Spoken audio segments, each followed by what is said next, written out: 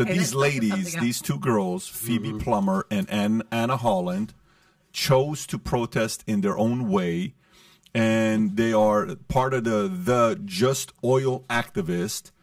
And they threw soup all over Van Gogh's iconic sunflower painting, and they glued themselves to the wall and they're out of UK. And this was a trending topic all over the place. People were talking about it. There we go. We have them on. And I simply want to know what they're protesting, and I want to give them the eyeball to share with us what they were really protesting. So if we have you on, uh, uh, uh, uh Phoebe, is that you or are you Anna? I'm sorry if I don't know the two names. Hi, this is Anna. Anna, how are you? I'm very well, thank you. How are you? Very good. First of all, thank you for uh, uh, agreeing to do this and being on. We were trying to do it, I think, last week. Something happened uh, sometime we had it like three, four days ago, and then we uh, ended up doing it today. So if you don't mind, take a quick moment. What I just set it up as yourself and your friend Phoebe. You guys are part of the Just Oil activists. You two chose to through, uh, throw soup all over Van Gogh's iconic sunflower painting, and you glued yourself to the wall. Can you can you share with us what point you were trying to make?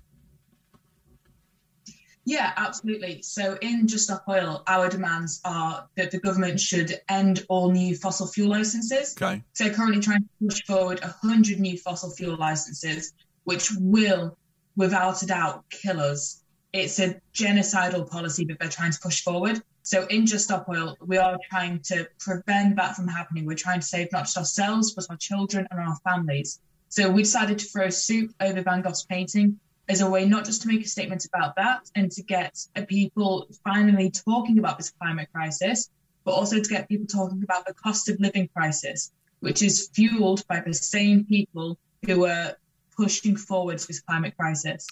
Well, you, you, listen, wh- whether you're getting criticized for your approach or not, you got eyeballs and you got attention. So what you were trying to get accomplished, you got it. And people uh, paid attention to what you're what you're doing. But now you said your concern is that this could kill us. This could get pretty ugly. Can you unpack that a little bit for us on your argument? Yeah, um, you know, so the science is clear. Since the first COP conference 26 years ago, we have created more emissions than the entire of humanity up until that point.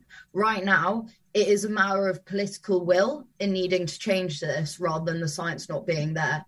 You know, this summer in the UK in the heat wave, we lost a third of our wheat crops. We're set to lose half of our potato crops. We're heading towards mass famine. Right now, 33 million people are displaced by floods in Pakistan. 36 million people are facing severe famine in East Africa right now. The climate crisis isn't a problem of the future. We're seeing the catastrophic effects of it right now. Can I ask you what grade are you guys in high school or in college?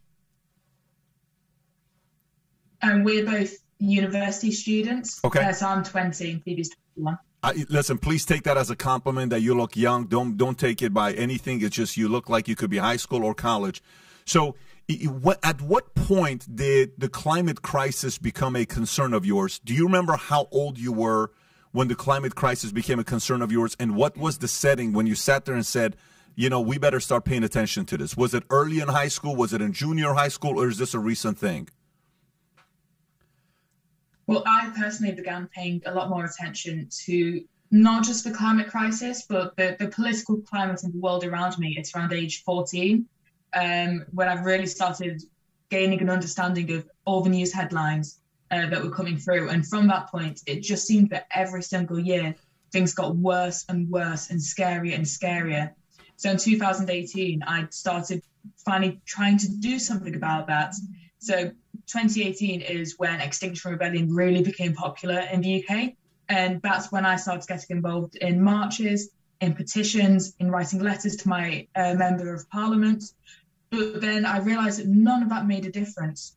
No matter how many marches I went on or how many petitions I signed, there was no actual change happening. You know, a, a petition could be signed by millions of people. It gets sent to Parliament, to the House of Commons.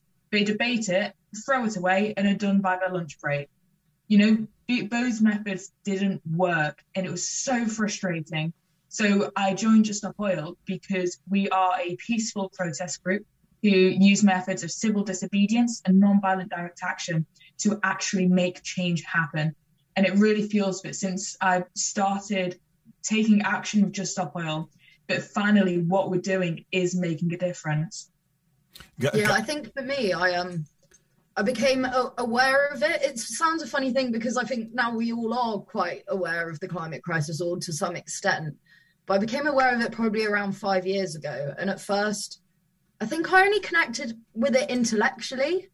You know, you look at these science and the facts and these predictions, and it's easy to connect with it intellectually. It's you can understand it. But I'd ask anyone listening to this right now to connect with it emotionally. Because for me that that's when I knew I had to do something about it. Because as a young person, I'm terrified about the future we're facing. Are you really are you really though? Are you really terrified? Are you really uh, uh, concerned uh, for your life? Are you you know, afraid of what's really going to happen? And if yes, what do you think really will happen? Like how, what, how bad you think it's going to get? If your concern is truly climate change, that this thing's going to change, how bad do you think things are going to be? Because AOC said we, we may be, you know, ceasing to exist in 12 years. And I'm sure you guys have seen that when she said that a couple years ago. And you know, Greta, you know, Thunberg has gone around talking about how she called them, uh, uh, uh, called out a lot of different political leaders around the world for not doing anything, and she went out there and she got noticed by a lot of different people. Are you truly concerned about your future when it comes down to climate change? Yeah, I really am. Last year, Sir David King, who was the uh, former chief scientific advisor yeah. in the UK, said what we do in the next three to four years will determine the future of humanity. Because there's these tipping points that scientists warn us of, which when you surpass them, you've done irreversible harm. It doesn't matter the kind of policy changes we make or the sustainable changes we make. Once you surpass those tipping points, irreversible harm has been done. So, as a young person, I'm terrified I'm going to be denied the right to grow old. I'm terrified I'm going to live in constant fear of climate disaster. I'm terrified that I won't have access to clean water or food. And we know that these fears are real because right now, millions in the global south are living the realities of these fears. And they're the people that have done the least to cause the climate crisis. So, what do you, what do you yeah. think? What do you think about? And and I'm listen. I'm not in this space. Neither are you guys. This is something you're protesting. I have my own things I protest. That's important to me. You know, we all have lived our lives, and I have to, we have to respect everyone's concerns, fears, and passions that they have in their lives. But what what do you think about rich uh, people who work for these large insurance companies? Do you think they like losing money?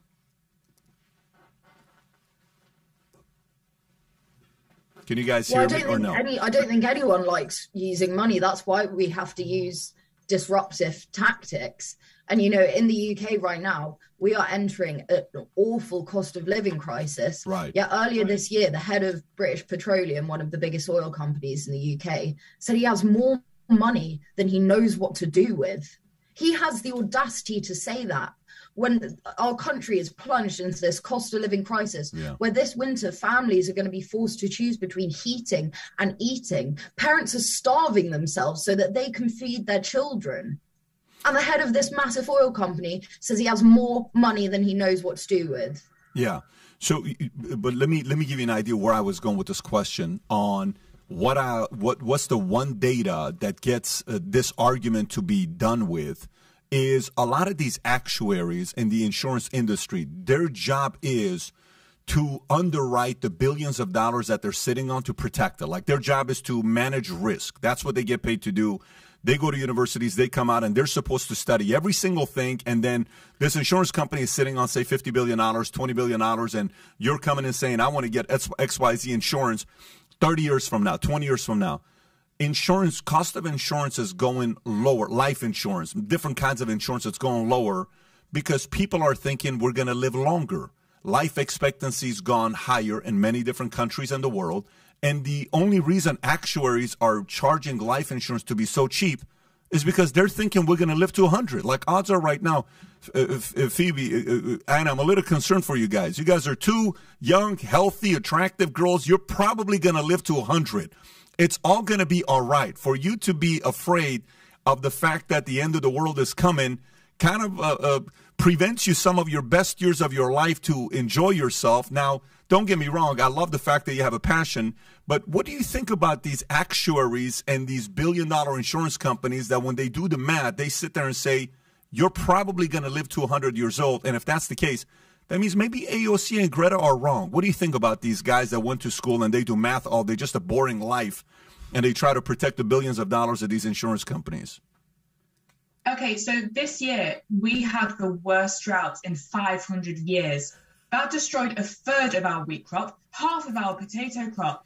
In the UK, we uh, this summer we reached 40 degree heat, which is something that was not predicted to happen by scientists until 2050. In those just 48 hours of 40 yeah. degree heat, 1,700 people died of heat exhaustion. The NHS ambulances were put on black alert. Fire brigades had their busiest day since the Blitz. You know, we're not worried about our future because we don't have a future to be worried about. This climate crisis is happening right now. We got so lucky that this summer that heat only lasted 48 hours. Next summer, it's going to last even longer. Next summer, even more people are going to die. But no, let's look sooner than this summer, okay? Let's look at this winter, just a few months. Two thirds of UK families are going to be forced into fuel poverty. You know, children are going to freeze to death in their own homes because our government are too lazy and too incompetent and too downright abusive to care about us. We're not fighting for some distant future. We can't afford to think that far ahead. I don't care about life insurance because I'm not going to live long enough to cash it in. Oh, you know, I, I, I, understand I what you're saying. Yeah. I'm I'm optimistic. I just want to get to 25. That's my only goal right now. You know, it, it's it's. I understand what you're saying, and I I respect your passion, and it's obvious. It's very sincere, and you're you're you're truly concerned about this. Uh, but I will tell you, to me, a lot of time when you when you look at these greedy people, the good thing about greedy people is, you know, if their life revolves around money. So let's, you know, the person you guys were talking about earlier that he says I have so much money I can't even count. So let's let's judge those greedy people. The benefit about greedy people is they're they're they're it's a very honest relationship. What matters to them is protecting their money and not risk losing their money, right? They're not willing to risk all the money that they've made. And if insurance companies are still giving insurance policies to people thinking you're going to live another 80 years, that means that future is bright. But, you know, the, the part of protesting for you and for you to do what you do, super necessary. Go make your case. People are going to debate you. They're going to argue with you. I remember when Al Gore 30 years ago said, we're supposed to be dead today. You know, in Al Gore's documentary, when he came up and he said, I don't know what it was, 25 years ago or 30 years ago, and a lot of people sat there and said, What happened? Your argument just didn't have any credibility. But it got a lot of young people to go out there and march and protest and get excited about it. So it's a very effective message. Say people that again. Are already dead because of the climate crisis. I'm not right. saying that 10 years down the line, people are going to die. People are dying now, right now, because of the climate crisis. Right.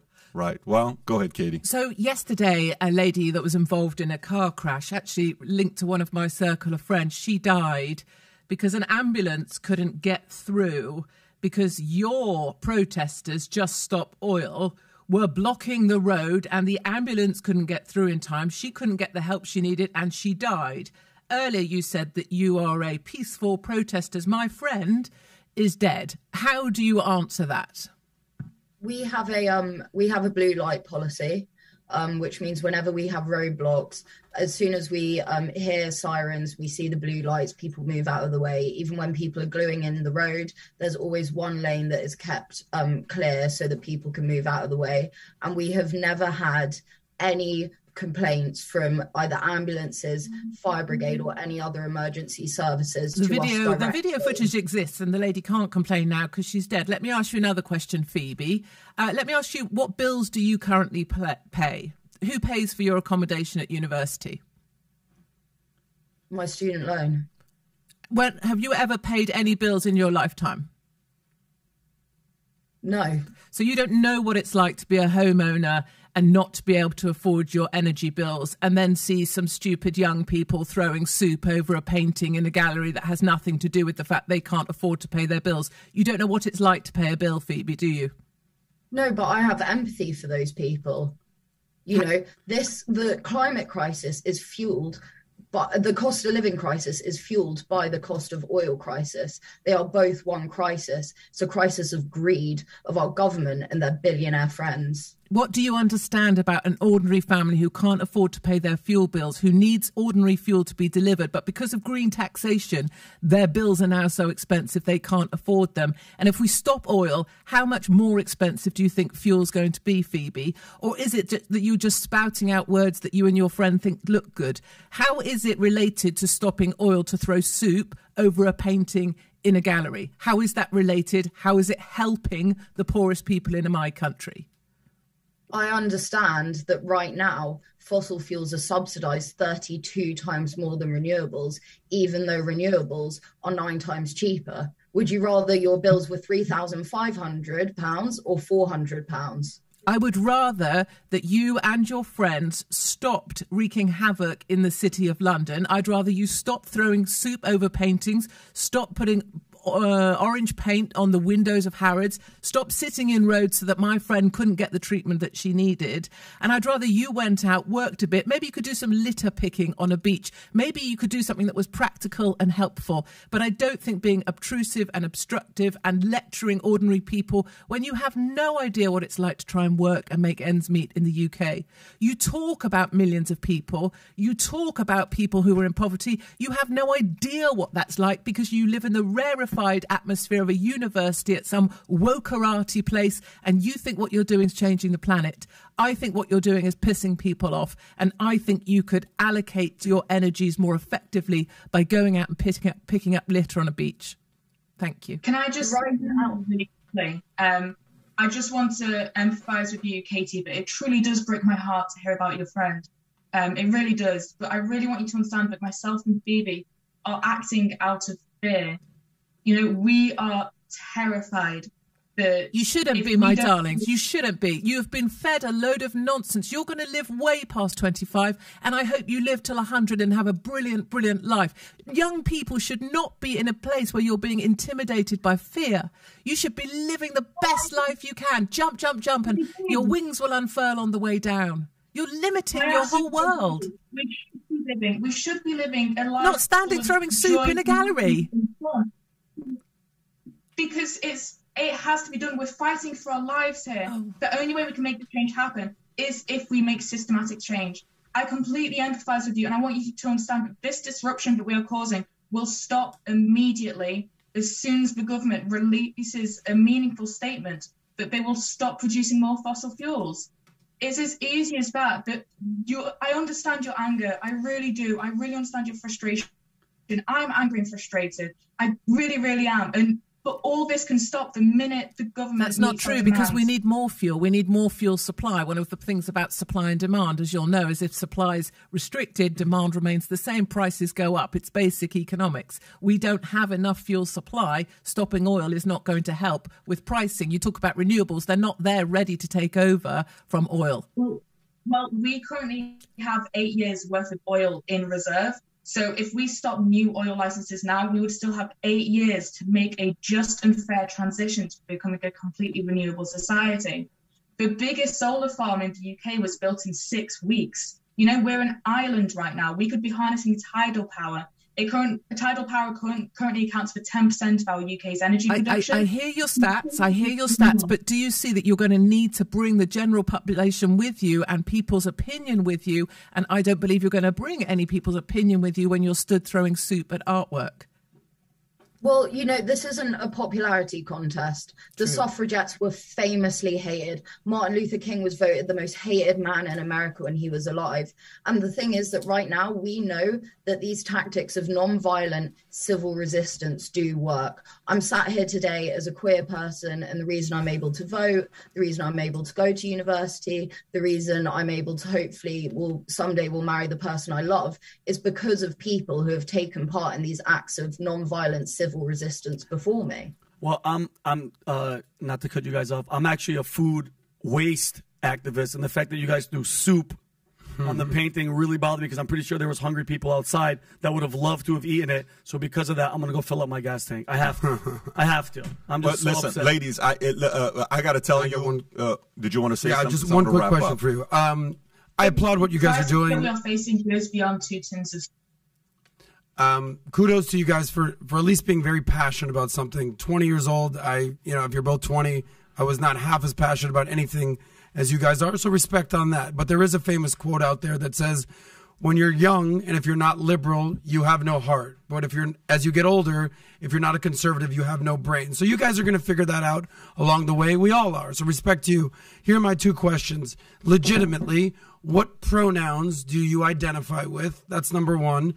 Number two, if there's a hundred of your friends in a room and you talk about your top issues that you care about, what's number one, two, and three? Meaning climate, LGBT rights, the economy, healthcare. So pronouns and your issues, if you would. Uh, so I use they, she, he pronouns, whatever you're in the mood for. Um, and for me, I think the climate crisis and also the cost of living crisis are uniquely unifying because this will affect everyone. And your friend? I also go by they, them pronouns. I also don't see how that comes into this argument because the this is what we're facing. This climate crisis goes beyond anything to do with gender or sexuality. But I completely agree with Phoebe. The main concern my friends and I talk about is the climate crisis and the cost of living crisis. My university had to open a food bank for its students this week. That's how dire things are. Students who are already getting a loan by the government to pay for things like this can't even afford to buy food using that loan. Yeah. It's all the energy bills because of the climate crisis. Phoebe, Our biggest Anna, concern is eating against meat and just feeding ourselves. Phoebe, Anna, if you had an outcome that you wanted to get with what you did, you got it. You guys were able to get the attentions of others to present your argument. And I I applaud you for your emotional control because you were pushed. Uh, and folks came at you here and uh, you were able to give your argument. Now, whether the audience agrees or not, it is what it is. Whether anybody sits there and agrees with you or not, it is what it is. I applaud you guys to be respectful in return, and I value that. So thank you so much for coming on and sharing your views. Uh, we appreciate you guys. Have a wonderful day, guys. The future looks very bright, by the way, just so you know. I believe the future looks very bright. Take care, guys. Bye bye, bye bye. So if you like this clip and you want to watch another one, click right here. And if you want to watch the entire podcast, click right here.